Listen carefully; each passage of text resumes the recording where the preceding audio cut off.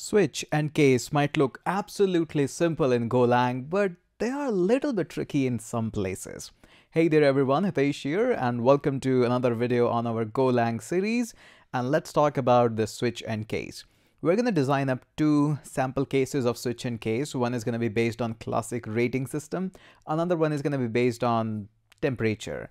These are pretty much really go-to cases when we want to discuss switch and cases.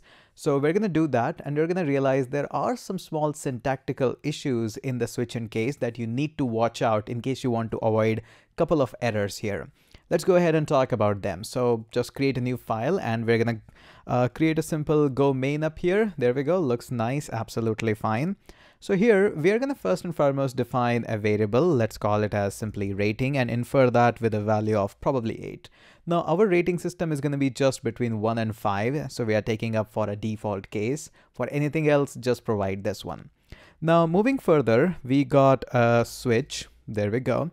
So how we evaluate for a switch, we provide the case that we want to evaluate and after that we simply provide couple of cases. So for example, if the rating is one, I want to do certain things. I'm going to simply go ahead and say that fmt.println and I'm going to just display this rating as one simply like that. And I'm going to save this one. I do want to print multiple statements here. So I want to evaluate for multiple cases.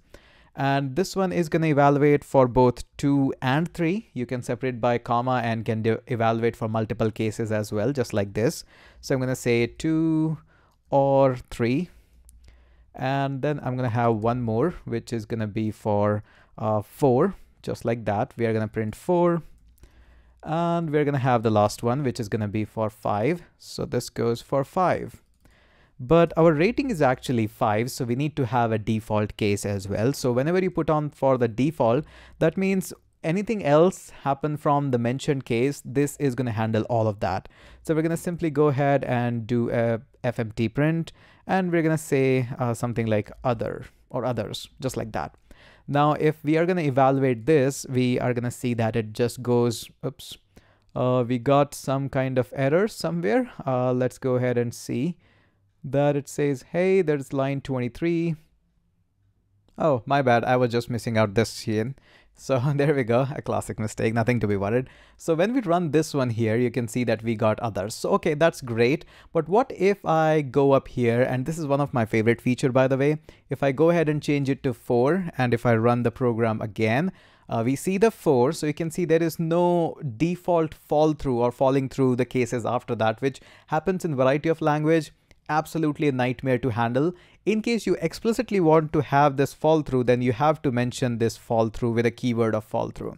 And uh, I think that's a rare case that you might want to use it, but now you can see that four is there, five is there. So you have to explicitly mention this fall through in every single case if you want that to happen. I think that's a great architecture to have.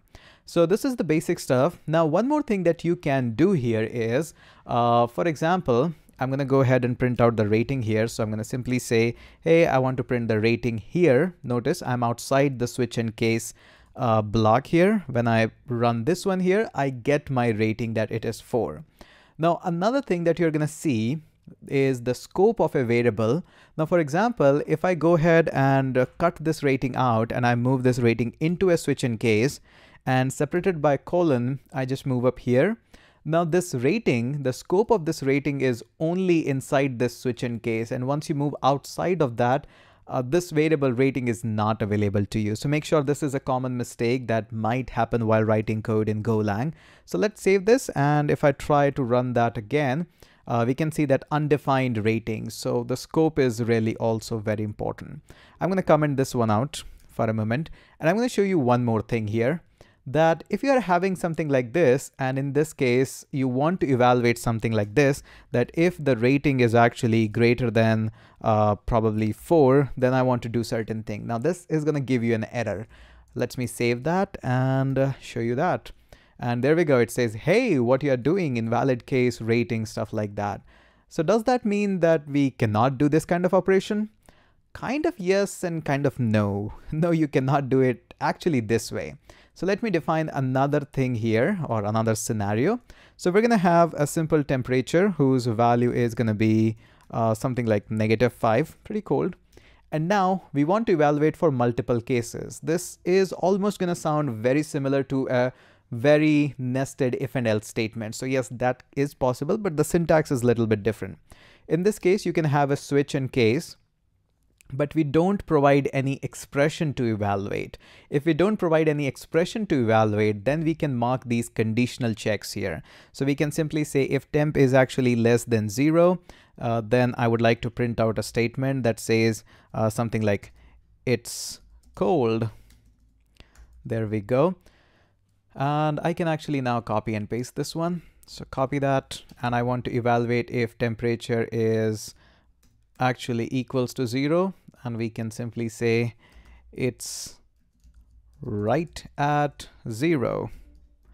There we go. And we can have another case, which is going to be if the temperature is uh, greater than probably 20. Again, you got the point that how this is being done. So it's moderate uh, temp. There we go. Now we can just simply go ahead and run this one. And this is actually going to evaluate all the stuff. It says it's cold. So now there is a syntax, so make sure you remember that. Let me summarize that quickly. That if you want to fall through with multiple cases, then you have to provide us something that is actually being evaluated in every single case. You have the syntax of this comma separated where two or more of these cases can be evaluated at the same time. But if you want to use switch in case as a conditional statement, kind of an elaborated or uh, exhaustive if and else syntax, then you also have to make sure that you don't pass anything, any expression to be evaluated just with the switch and case.